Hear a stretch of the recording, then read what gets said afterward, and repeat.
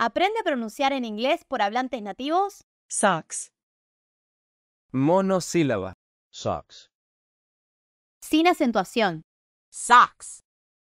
Pronunciación según el alfabeto fonético internacional. Socks. A continuación, un ejemplo en una oración. Me pongo los calcetines cada mañana. I put on my socks every morning. Ahora va un ejemplo de la vida real. Primero sin subtítulos y luego con subtítulos. Uh, I do that, and usually it's his socks. Uh, I do that, and usually it's his socks. Uh, I do that, and usually it's his socks.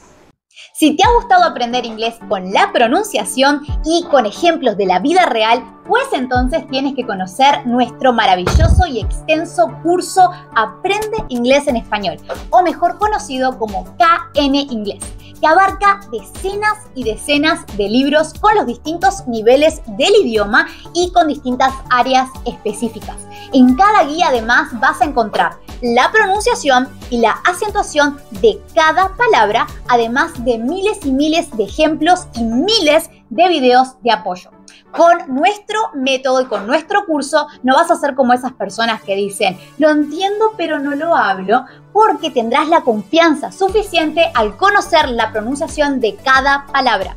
Porque con K en inglés aprenderás el inglés que sí vas a usar.